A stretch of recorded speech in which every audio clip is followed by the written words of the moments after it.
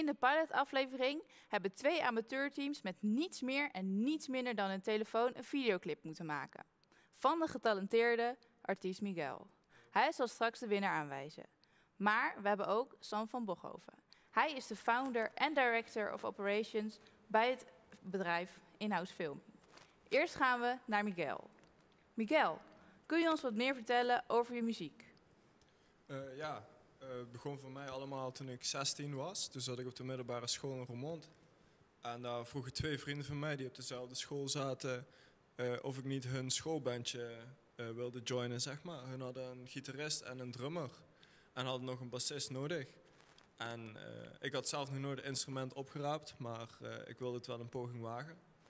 En vanuit daar heb ik het opgepakt, ben ik elke dag gaan spelen en ook andere instrumenten gaan leren, zoals de gitaar en uh, zingen. En uh, zo ben ik vooruit aan het gaan elke dag. Mm -hmm.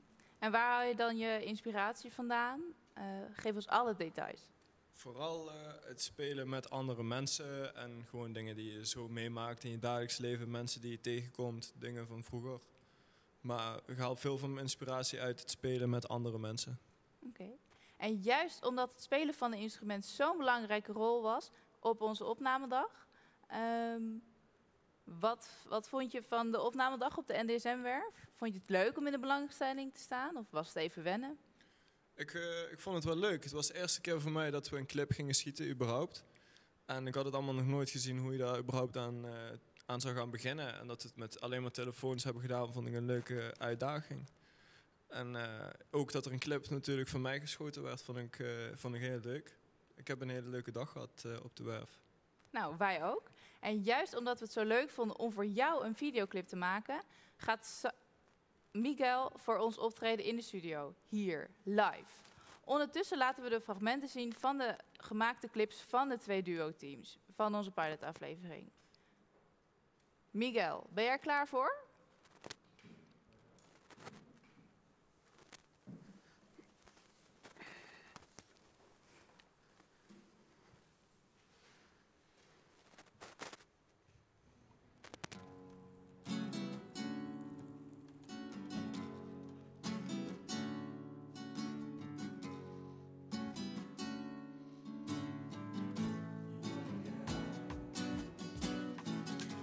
Mommy, tell me what you think about that time. We were living in the golden rainbow shine. When everyone had flowers on their mind, and I won't let that go. Do you remember it like once upon a time? I recall that she would squeeze my lemon lime.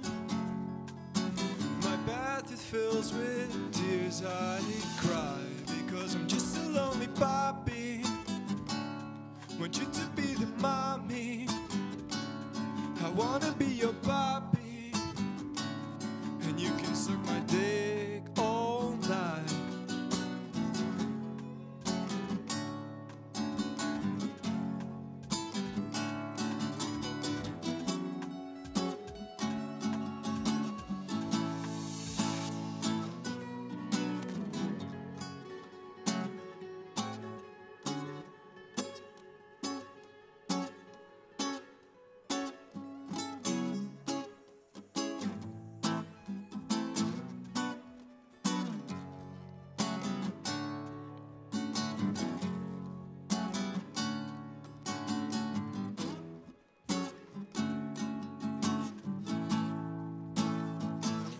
I'm just a lonely puppy.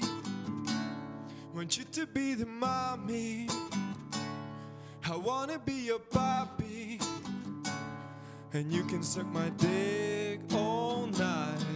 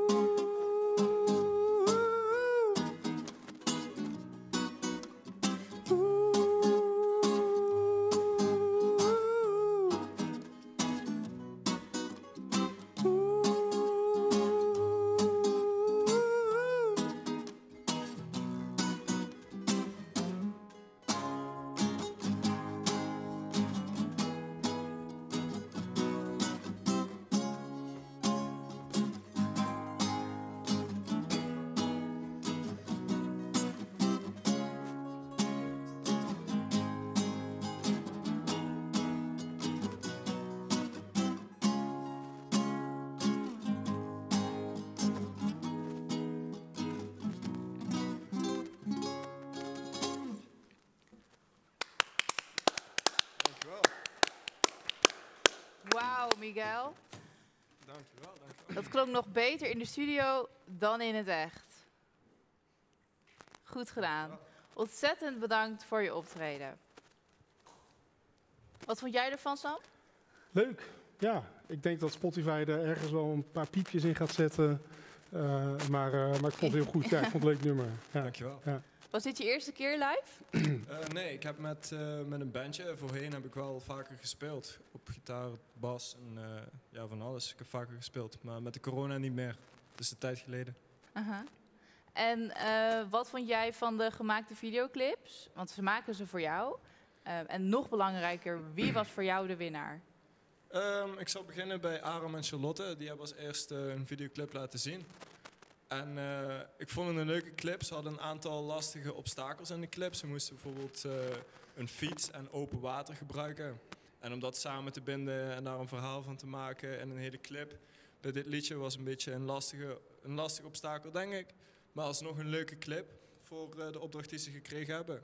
Maar toen ik de clip van Manon en Jeltje kreeg, toen werd ik meteen heel enthousiast. Want het was, ja, het was gelijk stukken beter. Dus bij deze ze hebben ook gewonnen. Maar het was, was mooi om te zien. Ze hadden veel betere beelden en een duidelijke verhaallijn. En dat is allemaal meer bij elkaar gekomen.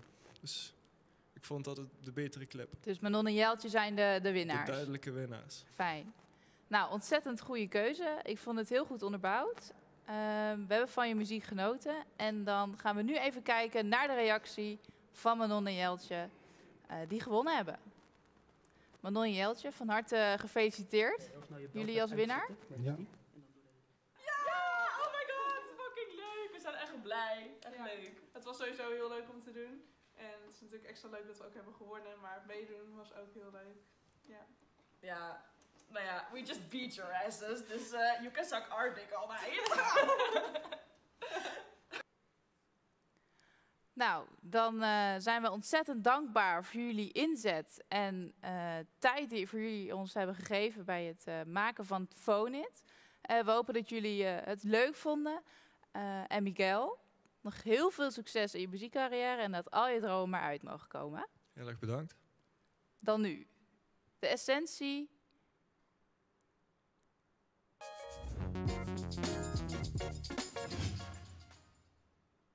Dan nu, de essentie van Phonit. Het filmen met de smartphone. Hier is voor ons de gast Sam van Bochhoven. Founder en Director of Operations van Inhouse Filming. Sam, kun je ons wat vertellen over het type filmcommunicatie wat jullie maken? Eh, ja, dat kan ik. Ehm, wij richten ons als bedrijf eh, vooral op interne communicatie binnen eh, grootzakelijke, ehm, eh, internationaal opererende bedrijven, Mhm. Large corporates. En ehm, toen ik, toen ik eh, in dit vakgebied begon, dus klaar was met mijn studie, toen kwam ik erachter dat, er een, eh, dat, dat eigenlijk 95% van wat wij communiceren intern gebeurt.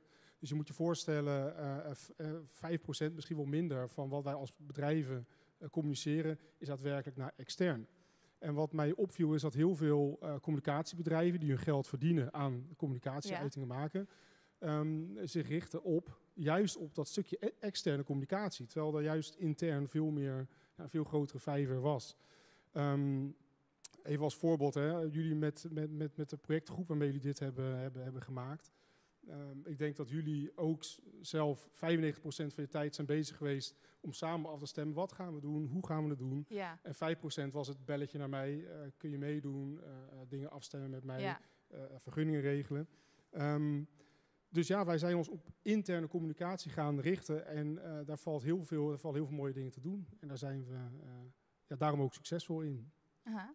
En eh, voor het maken van video's, wat jullie doen, ehm, zien we heel erg de verandering van de traditionele camera, de professionele camera, maar naar de smartphone. Ehm, omdat die natuurlijk altijd in onze broekzak zit, waar we allemaal filmpjes mee kunnen maken op elk moment. Ehm, wat zijn daarvoor de gevolgen binnen jouw bedrijf? Nou, eigenlijk, hè, want interne communicatie, en wij staan voor film, eh, gebruiken voor interne communicatie. En eh, wij zien dat smartphone, eh, film met smartphone, de toekomst eigenlijk ons, ons hart van de organisatie aan het worden is. Ehm, we zijn al best wel lang hierop aan het hameren, dus we zijn al best wel lang bezig met Mhm. eh, eh, met onze klanten om ze eh, te laten inzien dat mobiel filmen belangrijk is. Ehm, toch deden ze tot nu toe, ik heb hier een koffertje staan, eh, deden ze het met een koffertje wat op de afdeling stond. Mhm. Met daarin equipment zoals eh, een camera, eh, professionele camera als dit of een iets handzamere camera als dit. Ehm, en voor ons was eigenlijk de, de, de eerste corona-lockdown bijna een soort bewijsvoering, uitkomst, waarin, we, waarin we in één keer klanten die omslag zagen maken naar... Ja, jongens, mijn mobieltje heb ik altijd overal bij me, want Ja. mensen waren niet meer op het kantoor waar dit mooie koffertje stond. Eh, eh, en er viel meer dan ooit eh, te communiceren vanuit huis. Ehm, dus laten zien waar je mee bezig bent, instructiefilmpjes maken, een bezoek wat je ergens brengt, wat je niet meer met allemaal collega's tegelijk kan doen. Dus er was heel veel behoefte aan communicatie met mobiel. Dus ineens hebben wij gezien afgelopen jaar is het mobieltje nog veel meer in opkomst gekomen. Ehm, het heeft een aantal voordelen mobiel ten opzichte van een gewone camera.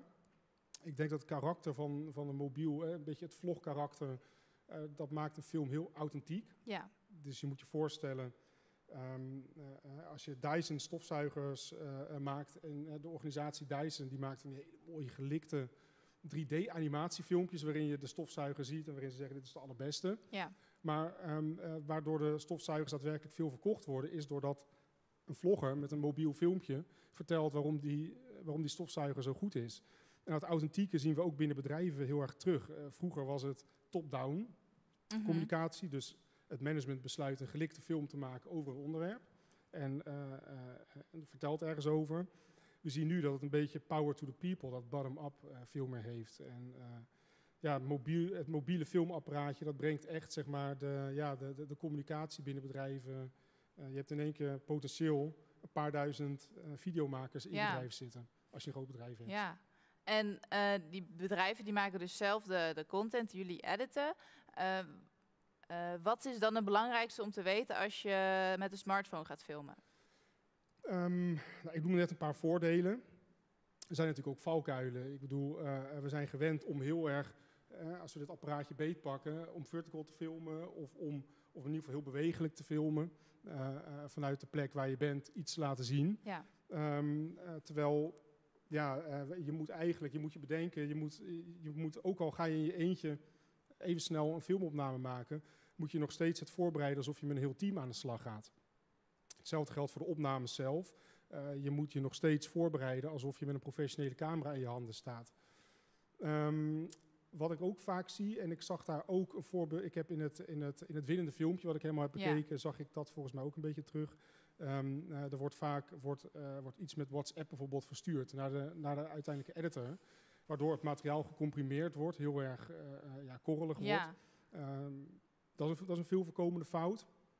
Ehm, ik heb hier, als jullie, hier op het scherm zie je een aantal, een aantal belangrijke punten die belangrijk zijn om, om- mee te nemen als je gaat filmen. ja, Dus hè, wat ik zei, die voorbereiding tijdens het schieten. Eh, neem het serieus wat je, wat je, wat je gaat doen. Je ziet hier, ik zal het eventjes oplezen, voor een twee minuten item heb je ongeveer 50 sfeerbeelden nodig. ja, dat is Ja, veel. is veel. maar ik heb het nu nog over een, over een filmpje waarin, waarin ook nog gepraat wordt. Ja, Eh, je moet je voorstellen dat we, dat we nu een, eh, eh, een videoclip, moet je misschien wel 100 of 150 sfeerbeelden maken.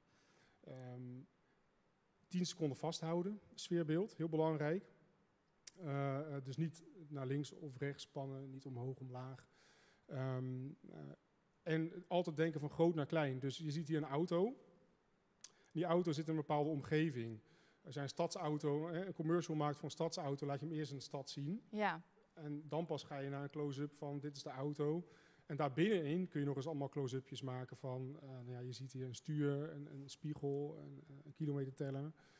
Ehm, dus dat, dat, dat, dit is eigenlijk, als je deze regels heel braaf volgt, eh, dan kom je altijd tot een goed resultaat. En mensen zijn dus met een iPhone geneigd of met een telefoon geneigd om het veel nou, losser Ja. op te pakken. dus het, soms begint het eigenlijk al fout bij de gedachtegang van de makers van de video. Ja. Ehm, zag je die fouten ook terug in eh, de video's van de deelnemers? Ehm, ja, ik heb, ik, heb, eh, ik, ik heb net natuurlijk een aantal beelden zien langskomen. ehm, en ik heb het filmpje in zijn geheel gezien, het, het winnende filmpje. Ehm, allereerst wat, wat jij ook al aangaf, het is, eh, ik vind de locatie goed gekozen. Het heeft een lekkere sfeer. Ja, ik denk ook wel een sfeer die aansluit bij, bij, bij jou als persoon.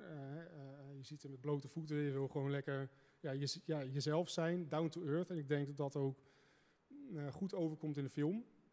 Dus locatie heel belangrijk. Ehm, maar ja, ik zag, ik zag inderdaad ook wat dingen terug, hè, wat ik net al zei. Dus dat gecomprimeerde beeld. ja, Ehm, iets anders wat, ik, ehm, eh, eh, eh, wat mij opviel is eh, voorbereiding. Ik begrijp dat er dus van tevoren al een bepaald hè, de- eh, iets was meegegeven. Minimaal deze locaties moeten het in zich ja, hebben. ja. Nou, eh, de, de deelnemers kwamen aan. Eh, ze krijgen dan eigenlijk te horen, ze krijgen alleen te horen waar ze moeten zijn op een bepaalde tijd, op een Ja. bepaalde dag. En toen bij de introductie van de aflevering hebben we pas verteld wat, gaan, wat gaan ze doen. En dus dat een, om het spannend te maken Hmm. en om nog een beetje uitdaging te geven, is er een rad van ongeluk ehm, in, ingezet. En daaruit kwamen elementen die verplicht in de videoclip moesten. Dus bijvoorbeeld een dier of een fiets of een... Ja, open ja, water. Ja, ja, grappig. Hè? Want wat mij inderdaad opviel, je hebt dus inderdaad over voorbereiding, wat dus eigenlijk niet, niet Ja. te veel mocht. En het Ja. viel mij op dat dat inderdaad een beetje ontbrak ook. Kijk, wat, wat, wat wij altijd doen als je sfeerbeelden gaat maken, eh, ga van tevoren, bedenk je een verhaal wat je gaat schieten. En Ja. bijvoorbeeld hier, dit was de kop van Noord, dat was duidelijk. Maar daarbinnen is natuurlijk een hele verhaallijn te vertellen. Je kunt bijvoorbeeld zeggen van, eh, dit was tijdens de, de- tijdens de lockdown, neem ik aan dit. Ja, ja, ja dit is eh, recent Dus, eh, opgenomen. Nou, dat, dat kan een verhaallijn zijn, dus verlaten straten, verlaten stukken. Maar je kunt ook zeggen, we gaan op het creatieve inzoomen. Dus we gaan veel graffiti laten zien, veel creatieve uitingen. Ehm, je kunt ook zeggen, van, we gaan de hele clip door juist op natuur inzoomen. Er is van alles waar je, en allerlei verhaallijnen die je kunt pakken. En nu je het zegt, hè, ik zie wel een paar dingen die je noemt terug eh, Mhm. in de clip. Maar ik miste een beetje de, de, de, de, ja, de voorbereiding in de verhaallijn. En verder wide, medium, close. Dus je ziet hier nu een shot bijvoorbeeld. Eh, eh, nou, dat is dus ook, hè, dat, dan, dan kwam ik alleen een shot tegen van, eh, dit is eigenlijk een wide is dit. En je zou hier binnen, als je dan dit shot maakt, zou je eigenlijk nog, je kunt nog zo 15 keer closer Ja. gaan. eh, Ja. Binnen alles wat je hier ziet. Eh, eh, en nogmaals, als je de verhaallijn goed bedacht hebt, dan kun je daar dus ook je medium en je close-upjes op pakken. Ja. Eh, ik weet niet, hebben we nog die andere afbeelding van ehm, eh, dat jij eh, als zanger zit? Ja, hier. Eh, dit vond ik bijvoorbeeld een heel mooi shot. Ehm, en hier dacht, dacht ik ook onmiddellijk, volgens mij, ik heb nog één andere wide shot gezien zoals dit. Maar hier zou je bijvoorbeeld ook veel meer in kunnen duiken. Je zou een profiel van de zijkant kunnen pakken, vanaf de Ja. achterkant wat meer eh, erin duiken. Dat wide, medium, close is een hele belangrijke. En van dit ene shot kan je er zo 10, 15 maken. ja. Maar verder, kijk, weet je, dat wat ik heel mooi vind, eh, even als afsluiter. eh, dit is voor jullie de praktijk induiken in een hele korte tijd. Met, ja. met opdrachten die je ook juist uitdagingen en, da- en, en- en laten zien dat je nou ja, fouten kunt maken waarvan je dan juist weer kunt, eh, kunt leren. Dus dat vind ik ontzettend mooi om te zien. ja. En dat is eh, volgens mij gelukt. Ja. Ja.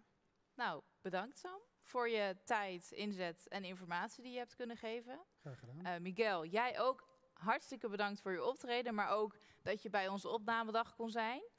Ehm, Manon en Jeltje zijn dus eigenlijk gewoon de winnaars. Die eh, heb jij gekozen, maar dat zijn ze ook voor een reden. Hiermee sluiten we ook de talkshow af. Nou ja, Sam, bedankt dus voor je tijd en informatie. Eh, de smartphone is de toekomst en wij zijn daarbij ook de toekomst.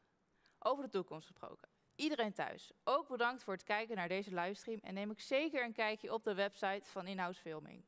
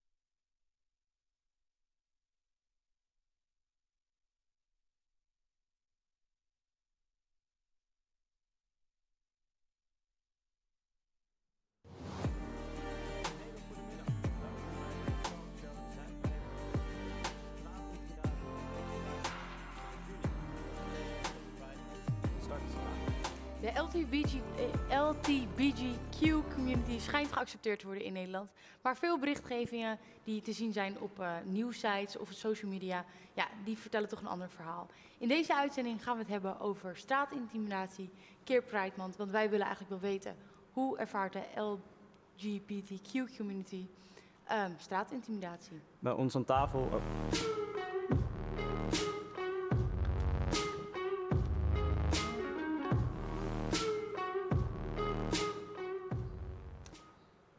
Bij ons aan tafel vandaag zit eh, Tammy. Tammy is transgender activist, eh, studeert filosofie, rechten en Europese studies. Ja, Eh, klopt. je bent lid van het panel eh, bij BNR Breed. Ja, radioprogramma. Ja, Ja, en je schrijft ook zelf stukken voor verschillende sites. ja zeker, Ja. klopt. Leuk Heel veel doe je. Ja, ik doe Ja. heel veel. Eigenlijk, dat transgender activisten, hè, dat is eigenlijk een soort overkoepelend Ja. iets. Dat betekent eigenlijk heel concreet drie dingen. Het betekent normaliseren. Dus heel veel mensen hè, die weten wel een beetje wat transgender personen is. Maar gewoon het feit dat ik een, een normaal leven wil, is voor heel veel mensen al echt twee bruggen te ver. Het is agenderen, dus over lange wachtlijsten in de transgenderzorg. Eh, en het is taboe doorbreken. Mhm. Hè? Dus zou jij met een transgender persoon daten? Is een vraag die ik heel veel stel. Die echt de vinger weer terugwijst. Waardoor mensen echt moeten nadenken: oké, hoe verhoud ik me nou op persoonlijk niveau tot jou? Dus dat zijn eigenlijk even globaal de drie dingen die ik doe. Om het even wat duidelijker te maken voor iedereen. Ja, en in hoeverre ja, krijg jij te maken of de, de community met ehm, straatintimidatie? Ja, ik zelf krijg daar best wel eh, vaak mee te maken. Dus eigenlijk op twee vlakken. Aan de ene kant ben ik een vrouw. Dus ik word gecatcalled, zeg maar het moment dat het lekkere weer er is en ik draag een rokje. Nou, dan krijg ik echt de meest smerige dingen naar mijn hoofd gegooid. En ik heb natuurlijk het stukje dat ik een, een transgender persoon ben. Eh, daar, daar krijg ik ook nog wel ja, op straat wel dingen over te horen. Ik heb de laatste keer dat ik eh, zeg maar geklokt ben. En geklokt is Ja. dus dat mensen zeg maar weten dat je een transpersoon bent. Was op straat dat iemand riep, zij is zo lang, dat moet wel een man zijn. En ik ben heel lang, ik ben 1,92. Eh, en dat, ja, dus ik krijg daar echt wel mee te maken. En dan meestal een beetje in die vorm. Ja. En wat Ja. doet het dan met jou als je zoiets hoort? Nou kijk, ik, wat, wat denk ik heel moeilijk is, is dat als je uitgescholden wordt op straat, is dat je daar niks mee kan. Dus als je boos wordt, heb je verloren. Als je ze negeert, voelt het ook alsof je hen kracht geeft. Dus het is eigenlijk, het, het ontneemt je een beetje ja, je autonomie. Zeg maar, je kan niet meer keuzes maken. En dat is soms heel frustrerend. Dus ik probeer dan die frustratie probeer ik zeg maar in mijn activisme te stoppen. Zodat ik toch nog een beetje het gevoel heb, ik kan hier iets mee. Maar het is heel ja, vernederend. Het, het, het overkomt je echt. Je kan er gewoon heel weinig mee. Ja. Voel je je ook onveilig als je wordt gecatcalled? Ik voel me heel onveilig. Ik merk dus bijvoorbeeld ook dat wanneer ik een straat inloop en ik zie daar een groepje mannen en ik zie ze al een beetje gretig kijken, dat ik denk van oeh, zal ik even een straat hiernaast nemen? Of dat je gewoon weet dat je bekeken wordt. Hè. Je kent het wel als vrouw, denk ik, dat je dan die blikken voelt. Ehm, ja, daar, dat, dat, ik vind dat moeilijk. En daar pas ik ook echt wel de route op aan die ik loop. Eh, en soms moet je er wel langs. En dan is het gewoon muziek harder zetten. Doen alsof je het niet hoort. Want je kan er gewoon heel weinig mee. Ja, en op, Ja. op, op welke manier wil jij je hiervoor zeg maar inzetten? Nou, wat ik denk ik wel heel belangrijk vind, is dat. eh, kijk, straatintimidatie komt ergens vandaan. Het is, niet, het is een soort topje van een veel onderliggender probleem. En dat is inderdaad die acceptatie van LHBTI'ers, dus op dat transstuk. En gelijkwaardigheid, eh, gendergelijkwaardigheid. Eh, en wat ik denk ik doe, zeker in mijn transactivisme, is dat ik moeilijke gesprekken die nog niet gevoerd zijn, die probeer ik te voeren. Dus heel vaak hè, denken mensen, oh transvrouwen, dat zijn maar gewoon een beetje mannen in vrouwenkleding. Eh, maar door daar het gesprek over aan te gaan, door zeg maar radicaal taboes te proberen te doorbreken, probeer je die straatintimidatie eigenlijk op dat laagste niveau, die onderliggende dat onderliggende sentiment in de maatschappij, probeer je dat aan te pakken. Ehm, ja, dus dat is een beetje wat ik probeer te doen. En hoe ga je dat eh, gesprek dan aan? Eh, wat is een goede plek om de discussie te openen? Nou, eigenlijk gebeurt die discussie eh, op sociale media.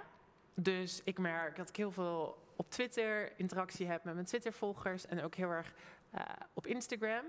En via opiniestukken, want daar is dan toch altijd weer eh, wat meer ruimte om die diepgang in te gaan. Hè? Dus als je aan het schreeuwen bent tegen elkaar op Twitter, dan probeer dan nog maar eens je punt te Ja, maken. precies. Dus eh, via, via opiniestukken, dan probeer ik zeg maar die diepgang, de, de diepte in te gaan. Maar hoe vind jij, want ik heb, er wordt eigenlijk niet zoveel mee gedaan. Niemand krijgt echt een boete ervoor. Maar hoe Ja. vind jij dat dit aangepakt moet worden, dit probleem? Nou, ik heb hier dus een, eh, een stuk over geschreven en het heet De dubbelzinnigheid in homoacceptatie. En dat stond eh, op Joop, Eh, dat is een soort opiniewebsite. En daarin beargumenteer ik eigenlijk dat het niet ligt aan strengere straffen, maar aan een hernieuwde definitie van acceptatie. Dus je ziet dat er een discrepantie is tussen hoe Nederlanders zichzelf zien. Hè. 74% zegt wij accepteren LHBTI'ers. Uh, maar aan de andere kant zie je dat 7 op de 10 te maken krijgt met geweld. En dan geweld in de meest brede vorm. Dus mensen worden nageschreeuwd op straat. Maar mensen krijgen ook echt klappen op straat. En daarin probeer ik eigenlijk dus dat de, de kern daarvan eh, uit elkaar te halen. En wat mijn, mijn, mijn argument is, is dat in het woordje acceptatie, daar zit een soort dubbele laag. Dus wat zeg je eigenlijk wanneer je zegt, ik accepteer jou? Dan zeg je, jij mag bestaan in de kaders die ik voor jou stel. Dus ik ben hè, een transgender vrouw en ik ben wel redelijk vrouwelijk. Dus dan, de meeste mensen kunnen dan nog wel met me dealen. Maar zou jij mij net zo accepteren als ik een baard zou hebben?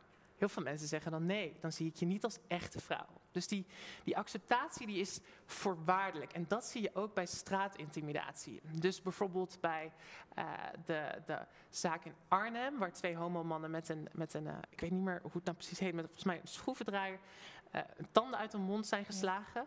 Die zijn naar, naar de rechtszaak, die hebben, er is een rechtszaak aangespannen tegen de daders. En die daders die zeiden, zij maakten seksuele gebaren naar mij. Want wij zijn helemaal niet anti-homo. Maar die seksuele gebaren, die waren, dat was eigenlijk een indicatie dat ze over, dat die homomannen over de kaders van acceptatie heen stapten. Uh, en mijn argument is dat, dat, dat we hele concrete acties aan acceptatie moeten hangen. Dat het niet meer een soort heel individueel wordt van oké, okay, uh, jij mag er wel zijn, maar je moet niet te dichtbij komen. Hè? Die horen Ja. we allemaal wel. Maar dat het ook. Uh, dus dat je gewoon als je zegt hè, vuile homo of dat je het manwijf roept, dat dat de facto al strafbaar zou worden. Veel striktere definitie van acceptatie. Maar hoe moet ik dat precies zien? Want ik vind Ja. het een beetje een, een Het is een onduidelijk, begrip, ja, Ja. onduidelijk begrip. Maar is acceptatie is dat voor ieder, iedere persoon dan weer verschillend? Of? Ja, dat is dus eigenlijk waar we in zijn gekomen. Omdat we acceptatie niet goed afbakenen, wordt het steeds een soort hele individuele verhouding. Weet je wel? Dus als ik tegen jou zeg bijvoorbeeld, ik ben een transgender vrouw. Dan ga je eerst even kijken, pas jij in mijn plaatje van wat ik denk dat een vrouw hoort te zijn? Dus dan gaan we eigenlijk meest giftige, basale kenmerken zoeken we op. Hè? Heeft ze lang haar? Eh, ziet ze er een beetje vrouwelijk uit? Eh, maar ja, als ik echt heel, zulke schouders zou hebben en kort haar en ik zou een diepere stem hebben, dan zou je het wel moeilijker vinden om te accepteren dat ik een vrouw ben. Ja, maar Ja. En daar komt dan zeg maar dat geschreeuw op straat vandaan. Ja, we hebben zelf ehm, we hebben onlangs een documentaire over straatintimidatie gem- eh, gemaakt, gewoon over in het algemeen. Eh, toen zijn we ook de straat op gegaan, hebben we mannen geïnterviewd. Wat daaruit eh voorkomt is dat eigenlijk iedereen die zich laat interviewen tegen straatintimidatie is. En daar wilden we ook nog wat beelden van laten zien. Denk je dat er een oplossing is voor dit probleem? Nee, nee. Nee, dat zeker niet. Opvoeding vooral. Dus dat is misschien ook waar de, waar de oorzaak ligt en waar het probleem eh, begint, vindt u? Heel erg zeker, ja. Tegenwoordig hebben ouders gewoon totaal, ze laten hun kinderen en mag gewoon lekker doen en gaan en Ja. wordt totaal geen respect meer vanuit huis gedaan. Dus, ja. Ja, gewoon niet doen. maar dat is te makkelijk, dat is te simpel. En denk je dat er een oplossing voor is? Ehm, ja, op zich. Ik denk dat het eh, bij de opvoeding ligt. Dat het heel snel, dat bij jongens van wordt, moet aangeleerd worden dat iedereen met respect behandeld moet worden. Ja, meer voorlichting over dat, hoe mensen zich erbij kunnen voelen, wat het met mensen kan doen. Ik denk dat heel veel van die, eh van die kerels geen idee hebben wat ze eigenlijk roepen. Weet je. Denk ik, oh grappig, bij, bij mijn vrienden stoer doen. Maar het kan best wel impact hebben op sommige. Dus eh, mannen stop daarmee. Vrouwen houden er niet van. En eh, ja, fluit anders gewoon naar mij. Ik vind het ook niet erg als een man naar mij fluit. hoor. Dus eh vind niet erg.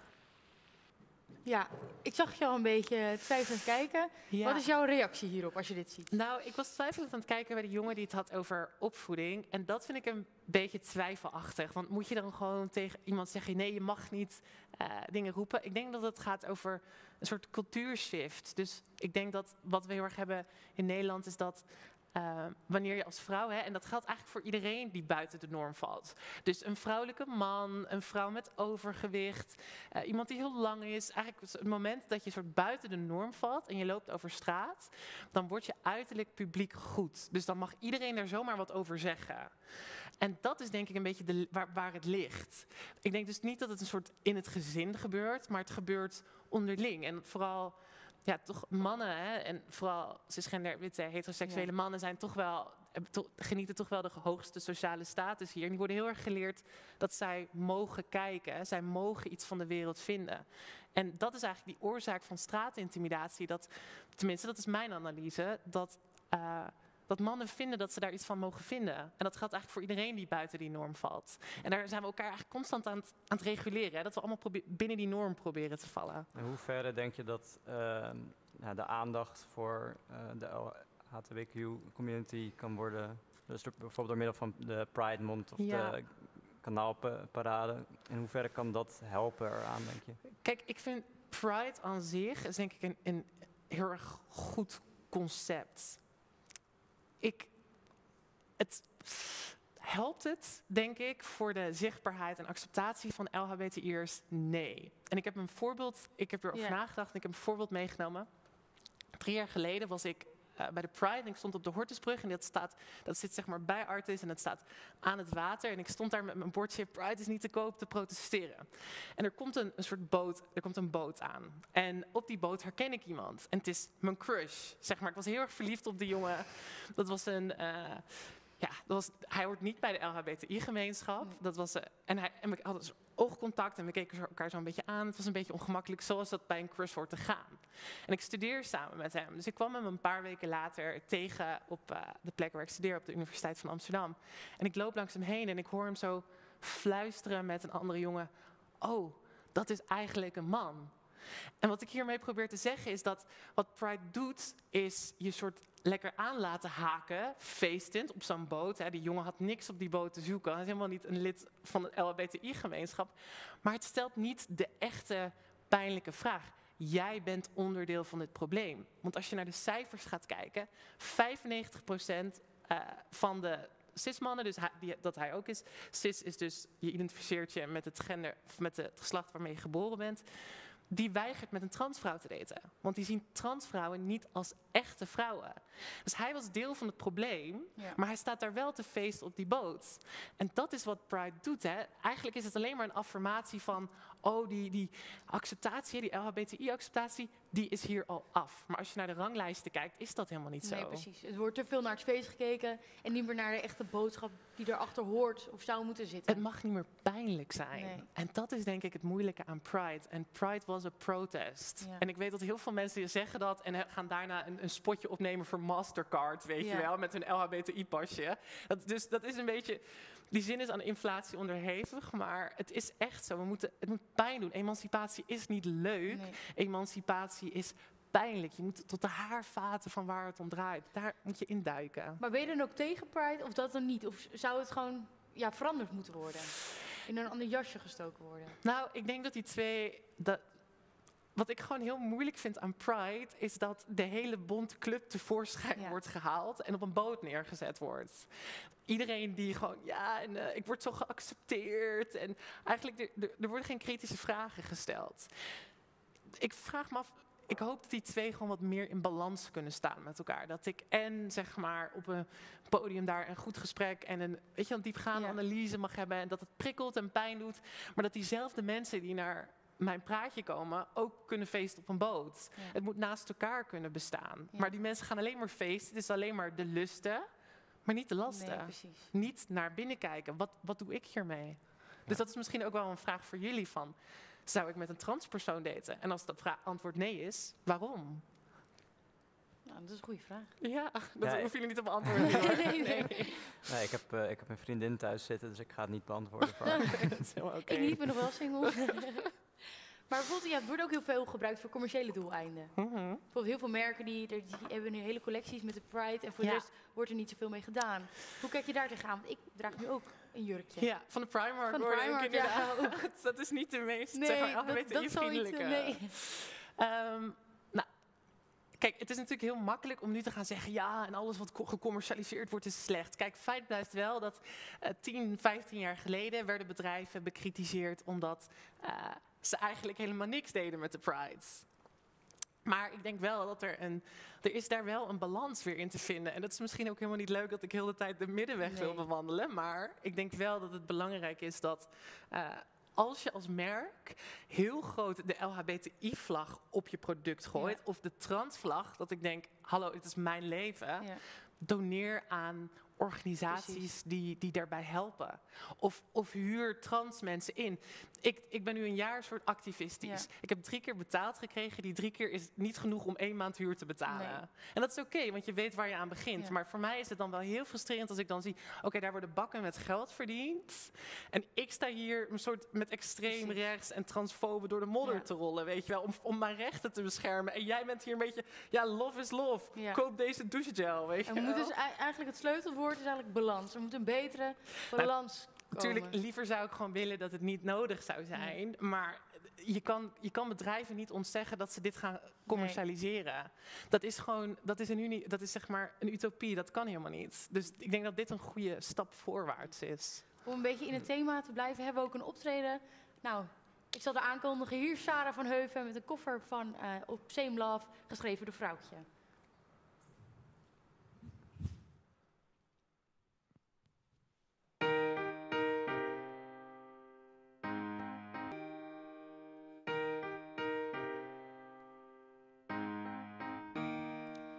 Werd geboren met de liefde als iets abstracts, als een begrip. Als iets dat in de kamer hangt, je af en toe opglipt. Een vrouw. Tussen ouders en een kind, het was liefdeskort in mijn huis en mijn gezin. Wie je hart sneller doet kloppen, of dat nou man of vrouw is, gaat van jou, hm, liefde nu jou is. Dat geef je eraan over.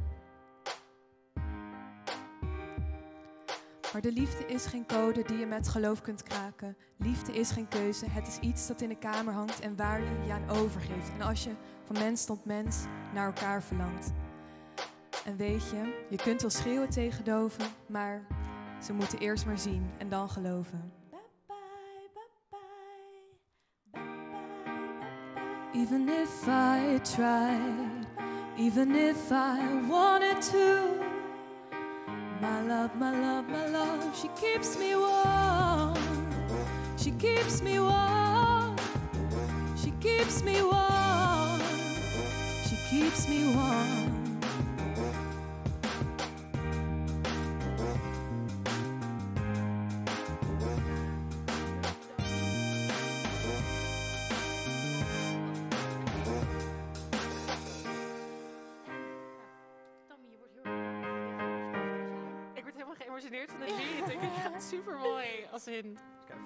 Gelegenheid hebben we nog een eh, taartje gekocht.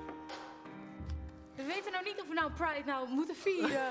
of dat het eigenlijk iets fout is. Maar weet je, de gelegenheid voor taart, dat, dat is altijd goed. Ja, zeker, lekker. Ja. Dus kijkers thuis, jullie worden bedankt voor het kijken. En wij gaan lekker een taartje eten.